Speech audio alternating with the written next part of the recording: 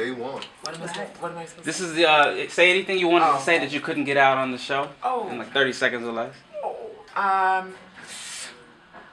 Oh, You want me to go first? Yes, I'll go first. yes. Sorry. I'll just say this to, to TJ. I want to thank him for introducing me to these wonderful ladies who I'd never met. So, if nothing else, you brought us together. Absolutely. You know? Yeah.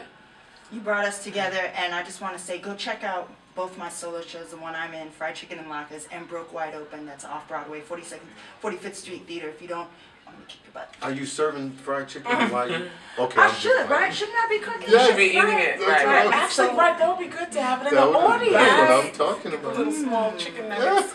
But you know what? I'm We're all crazy. That's all I'm saying. Yeah, we're like related. You brought a good Yeah. group together, TJ. And my book is Growing Up X, so please make sure you get it. And I do motivational um, uh, Speaking. Yes, motivational speaking and galvanize. I'm looking at you. It's like, huh? Oh, I'll be at Nassau Community College November 14th. She's brilliant. Thank And you. exciting. Thank you.